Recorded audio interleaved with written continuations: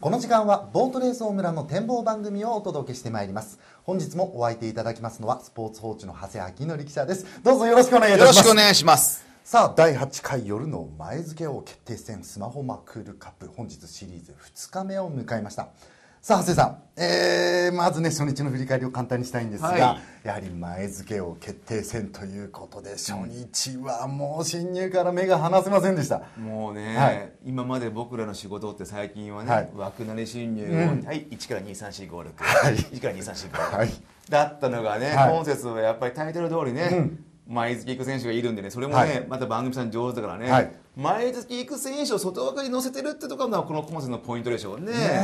えー、初日に関しては枠なりは結局2レースだけということでございまして、うん、まあ、3連単満州は結局3本出たんですが、うん、まあ、1号艇もしっかり結果を残してました、ね、そうですよね、うん、でもねやっぱりね荒れたレースっていうのはやっぱり前付きがあって進入ごちゃごちゃしてっていうところでやっぱ出てきますからね、はい、やはり。うんちょっとこういったレースもたまにあると面白いですよね。そうですね。ただね、えー、予想する方からするとなかなか難解なレースがね多いのかなと。前日で新入予想してても、はい、本番でね、はい、もっと行くとかね、実は行かないとかね、はい、どうなんだよ。それ結構面白い話があって、はいはい、特訓では6コースから2本してても、はい、本番ではバッて毎日行く選手もいたりしてね、はい、だから選手が特訓を置いたとね、本当にこの人は6コースから行くんだろうかとかいうようなこともねあったんですよ。いろんなこう疑心暗鬼に生まれちゃうような感じなんでしょう言っちゃうとまあ駆け引きですよね。まあ駆け引きをまあしてるっていうかねもうね。そうですね。いろんな思惑でね各選手レースはしているかと思うんですが、え今節はね4日シリーズということで、まあ今日2日目があっという間予選最終日。そうだからね、はい、もう僕たちも普通なら得点表載せるっていうはい、まあ得点表載せても意味がないからね。もう じゃもうぐちゃぐちゃね。変わりますからね、はい、もう本当。はい、第11レースまでが予選となっております。ぜひ皆様にはポイント争いにも注目して本日も一日お楽しみいただければと思います、さあそれでは、えー、今日は橋さんにですね2レース展開予想いただきました、まずはこちらのフリップをご覧いただきましょうさあ注目レーサーのコーナーです。今日は谷村和也選手。注目ポイントは？勝負がけのイン戦。昨日は4着2本でしたでも谷村選手は昨日外枠デーでしたからね、はい、まあでも外枠デーでもまあ彼は前付きに行くタイプじゃないんですよ。ね、はい、まあもう枠近辺から行く選手、でもここは1号艇だからね、はい、インは譲りませんよね、はい、まあここはまあ番組さんとしてはやっぱり6号艇に渡辺さんを乗せたというのは、うん、渡辺さんどうぞ入ってください、前付き行ってくださいというところですよね。でもまあ中溝さんは譲らないでしょうね、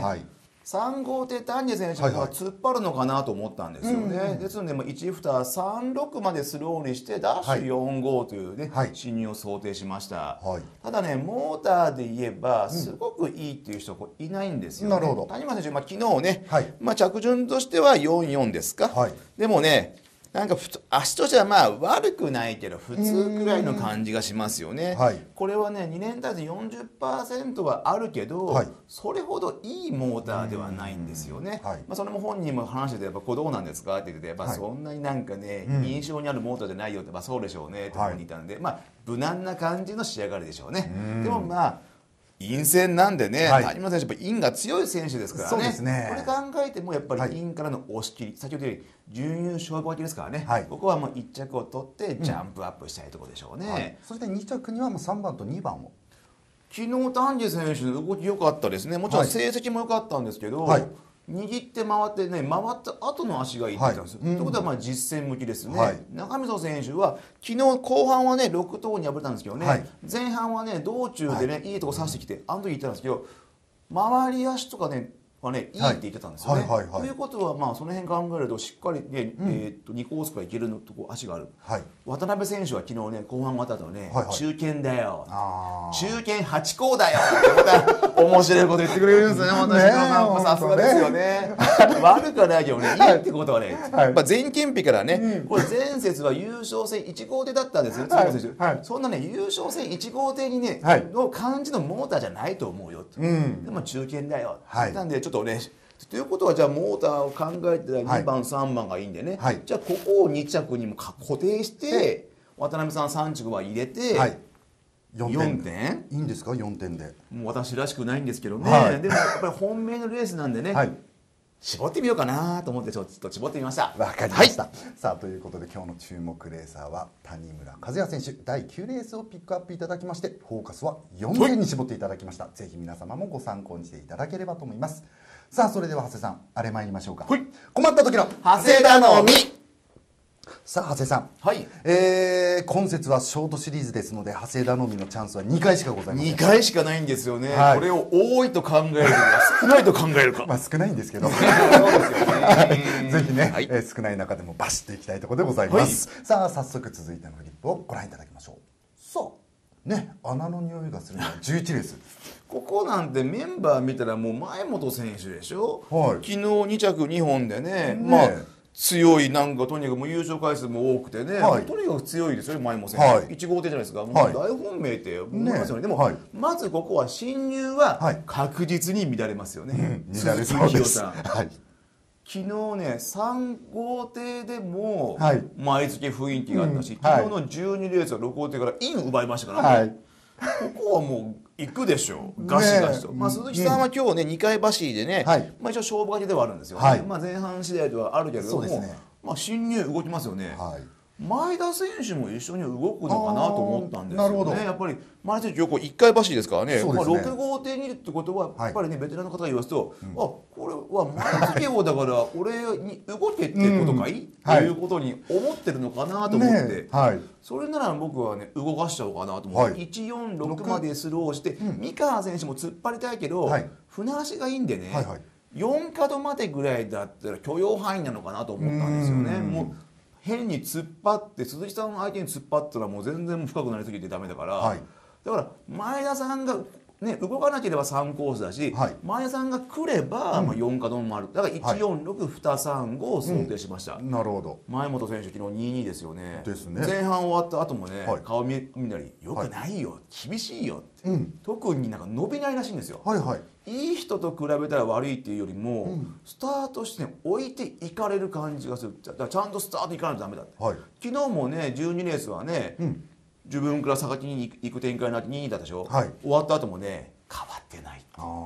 いやなんかね本当にねよくね、はい、昨日22で自分ではね、はい、まとめたと思うってそのぐらい。だから、はい、結局はね1年間使ってね、はい、2年対率は30%ですね、勝率が4.7って言ったんですよ、本に言ってました1年間使ってやっぱ4.7しかないっていうのは、やはりねそれなりのモーターだと思う、はいはいはい、だから差は縮めれない。まあ、うん、自分としては最善は尽くすけどね、やっぱいい人とはね差があるよと言ってました、はい、ですのでちょっとここね初頼みね、はい、ここかなと思って出したんですよね、はい、ただモーターは、三河選手、ね、これあのね37%これ何これ71これいいモーターなんです、はいはい、ちょっと実はね昨日のね特訓の後にね、はい、金子義明選手がね、はいはいはい、来てね、はい、三河のモーターってこれいいのって聞いたはいはい、これいいっすよって。どうしたんですかって。三河がすごい出てる特訓で。選手間でなんだよあれって、俺はどうなってんだよって。金子さん言ってきたんですよね。富川さん聞いたらなんかあやっぱいいっすよって、まあ、ベース行った足も良かったですよね、はい、でだからこれ三河選手が怖いですモーターなるほど。でもう一個言うと前田選手もこれ怖いんですよ、はい、うちに動いたら怖い、うん、ただ鈴木選手も昨日がね、はい、66だったでしょ、はい、そんなね66で終わることないと思うんですよ、うん。だからうちに入って粘っこくスタートさえ同じ生きればね、はい、やっぱりレースうまいですからね。ね。というわけで1221はちょっと折り返して。前も選手からね、はい、でもまあ印の選手ちょっと23着、まあそこ点数ちょっと多いんですけどね。はい。はい、さあ一番頭そしてまあ1221の折り返しもございます。もう早速狙いに行きましょうか。モーター重視ですよね。最後の最後に来て、もう今節でエンジン使いモーター使いを収め、はい、三河選手がいい。うん。そして前田選手もね昨日の前半ね、はい、2位たですね、はい、インから伸び返したと、はいはい、でターンでもう流れたと思ったら帰ってきたって、はい、いいよねじゃあもうモーターのいい選手を狙いましょう、はい、三河選手が位置としてはいいと思うので、三河選手の頭にして、前田選手が粘り強くて、はい、23着で26前と2前6っていうのがね狙い目のフォーカスですよね。いやこれもちろんね前本選手圧倒的なね人気を背負いそうでございます、2番6番がこういい形で船券に絡めば。そうだからちょっとねもう最後の最後のね説なんでねモーターがね、だからいいモーターでちょっと出してみようと思ったんですよ。ね、昨日実はね長谷さんマクール選抜で予想していただいて狙い目ね非常に惜しい予想で満州取り損ねたという、ね、昨日はあれですよね、はい、宮地選手を1着で福岡選手を折り返して3553流して、はい、結果は325だったから、はい、あ3流し5にすればよかったってことだったんですよね。そうですね。それを踏まえた今日狙いですこれ。でもこの場合だと、まあ、6番が頭だと外れてしまう昨日みたいなあ266に折り返すればよかった。そっか。そうならないようにね、ね。はい、どんどん点数が広がっちゃいますしね、もうだって本命はこの買い目でも多いですからね。なんでちょっと狙い目までいったらいっぱいね、はい、なりますからね、ままあ、あくまでもご参考にしていただいてということでございますね。はい、はい、ということで今日の困った時の長谷頼みは第11レース。本戦の解明はですね1号手の前本選手を中心にただ狙い目ではレーサーチの三河選手そしてパワフルな前田選手、えー、絡めたフォーカスいただいております。ぜひ皆様ご参考にお楽しみいただければと思います。さあシリーズ2日目今日は予選最終日でございます、えー、準優、えー、準優進出そして準優高枠を狙う戦いぜひ皆様にもご注目していただきながら最終12レースまでお楽しみいただければと思います、えー、ということで本日も展望番組お付き合いいただきましたのはスポーツ報知の長谷明則記者でした。どうもありがとうございました。